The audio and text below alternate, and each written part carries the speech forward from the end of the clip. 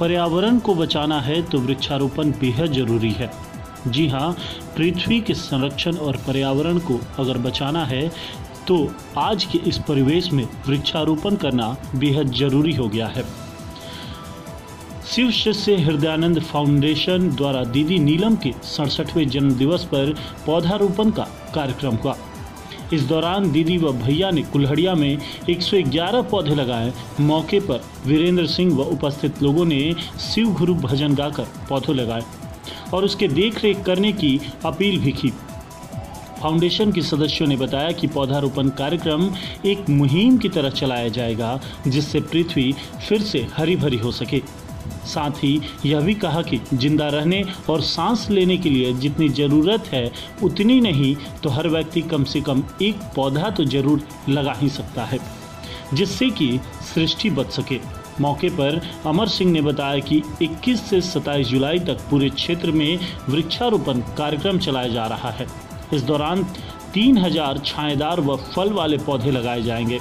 मौके पर अमर सिंह, आशा देवी, शांति देवी, भोला कुमार, ईश्वर दयाल, प्रहलाद जी, अशोक कुमार, शंकर, सुदर्शन, विजय, वीरेंद्र, जयमंगल आदि उपस्थित थे।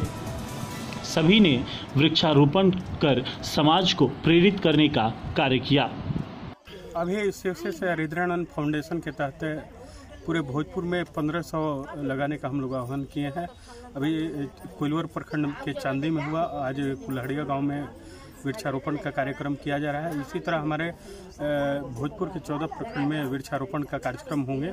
और 21 जुलाई से 27 जुलाई तक दीदी नीलम आनंद जी के जन्मदिन के अवसर पर हमारे साहब श्री हरिद्रानंद जी शिव से परिवार के जो उद्घोषक हुए कि ये भगवान शिव को अपना गुरु बनाकर देखें। उन्होंने ही कहा कि दीदी के जन्मदिन के अवसर पर आप एक एक वृक्ष लगाएँ, तमाम शिव आम लोगों से क्या अपील करना चाहते हैं आप?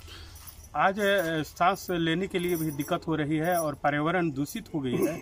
इसीलिए हम सभी सभी भाई बहन से आग्रह करेंगे कि आप लोग भी एक एक वृक्ष लगाएँ ताकि एक मनुष्य जीव, प्रतिदिन तेईस रुपये के ऑक्सीजन लेता है और आज पानी के बोतल जैसे हम लोग लेके घूम रहे हैं। आने वाले समय में ऐसा नहीं हो कि अगले पीढ़ी के लोग ऑक्सीजन का बोतल लेके घूमें।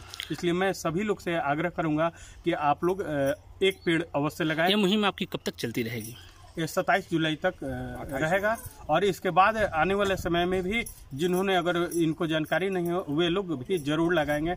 हम लोग भी सोचे हैं कि पेड़ लगाने का काम हमेशा करते हैं। पौधा लगाने के साथ साथ जल संरक्षण के लिए भी कोई उपाय सोचे हैं कि आप लोग? जल के लिए अभी हम लोग सोचे हैं कि जो बारिश का पानी है उसके थोड़ा बहुत हम लोग गड्ढे बनाएँगे उसको सींचेंगे या जो बेकार पड़े तालाब हैं उनको हम लोग सफ़ाई करेंगे। जी आपका शुभ नाम?